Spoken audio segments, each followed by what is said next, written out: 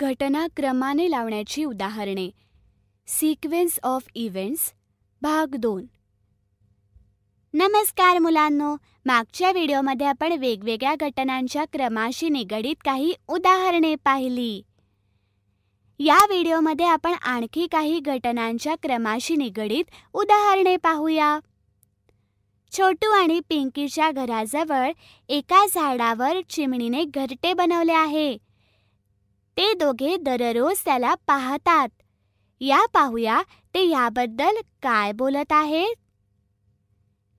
पिंकी बघ आज या चिमणीच्या घरट्यात काही अंडी आहेत. हो छोटू हे किती छान वाटत आहे. ही चिमणी कशी आपली अंडी स्वच्छ करत आहे आणि मग त्यांच्यावर बसून त्यांना ऊब देते. हो चल छोटू उद्या परत ही अंडी बघायला येऊ. आता घरी जाऊया.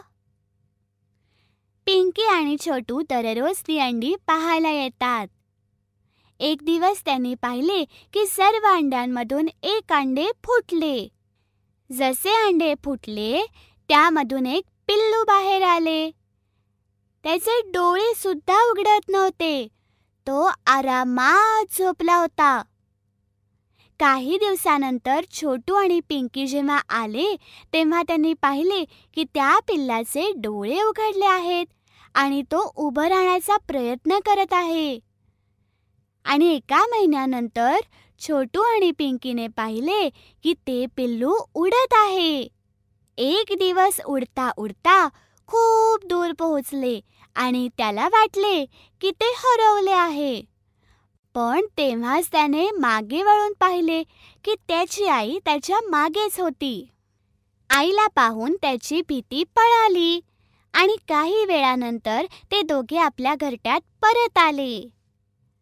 छोटू आणि पिंकीला त्या चिमणीला पाहायला खूप मजा येते.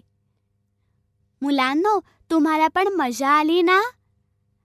पाहिले तुम्ही चिमणीचे पिल्ले कशी मोठी होतात? तर मुलांनो आजच्यासाठी बस एवढेच.